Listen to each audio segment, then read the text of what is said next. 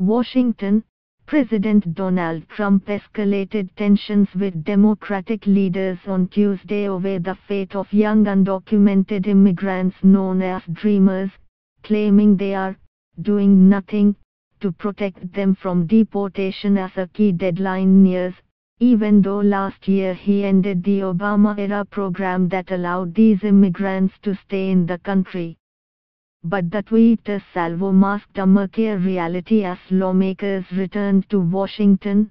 Trump remains open to negotiations on a charged issue that has vexed him since his presidential campaign, and his brash partisanship was widely seen as a nod to his base rather than a sudden turn in the talks.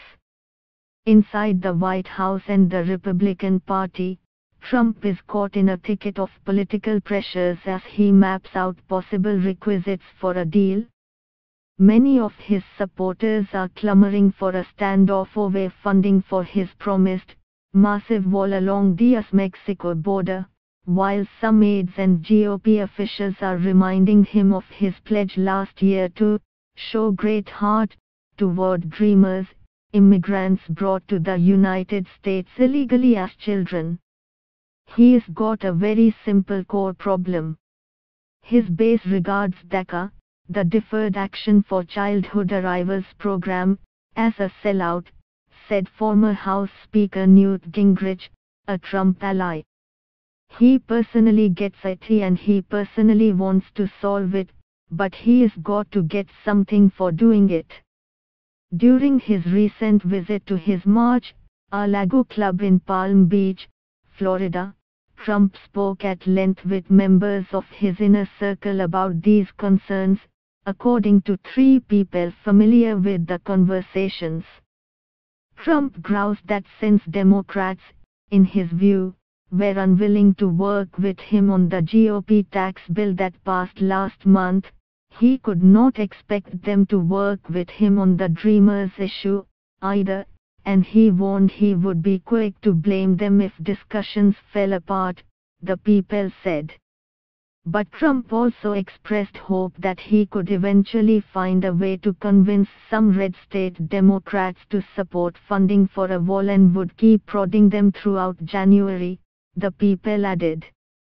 Even if Trump bends some Democrats to his will, Many moderate Republicans are wary of the wall proposal and its implications in their own races, and have asked congressional GOP leaders to act swiftly to address Dreamers regardless of whether Democrats agree to Trump's demands. The president is boxed in a corner, former Trump advisor Sam Nunberg said. He knows the base sees the wall a threshold issue and they are worried that establishment Republicans and Democrats want a straight deal, without funding for the wall. But with some Republicans in Congress looking to possibly tie the issue to the budget fight, getting what he wants will be difficult. Senior aides to Democratic leaders said Tuesday that they are not taking Trump's tweets literally given his shifting stances on immigration matters. More important, they said, is what is said inside the private meetings, and who attends.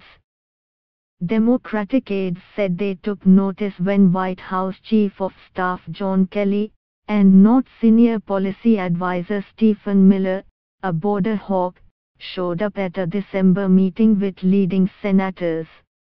At times, it's unclear who we're even negotiating with in the White House, one House Democratic aide said.